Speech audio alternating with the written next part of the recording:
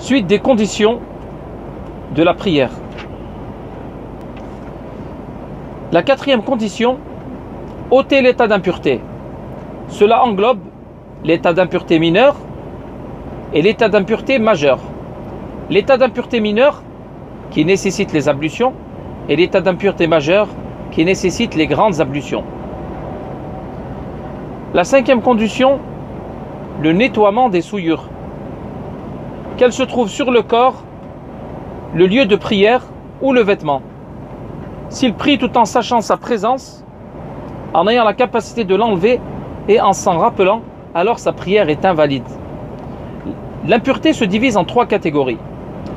Une impureté légère, une impureté médiane et une impureté sévère. L'impureté légère, elle se nettoie par un simple aspergement d'eau sans qu'il n'y ait besoin de frotter. C'est ainsi que l'on nettoie l'urine du nourrisson non sevré, le liquide prostatique et le sperme.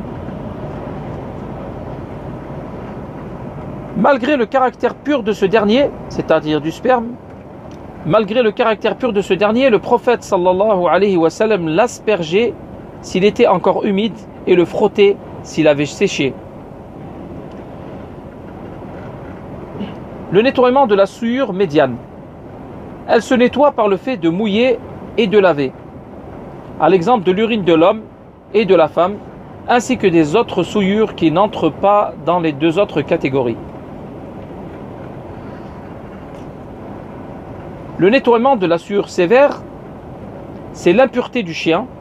Le prophète sallallahu alayhi wa a ordonné que lorsqu'un chien lèche un récipient, il a ordonné de le nettoyer sept fois. La première en utilisant de la terre, rapporté par Muslim.